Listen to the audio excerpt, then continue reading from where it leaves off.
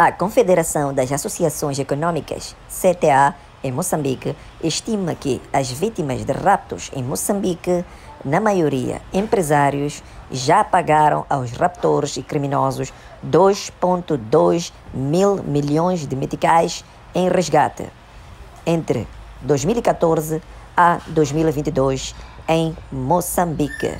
O que acha que as autoridades moçambicanas deveriam fazer para eliminar este caso?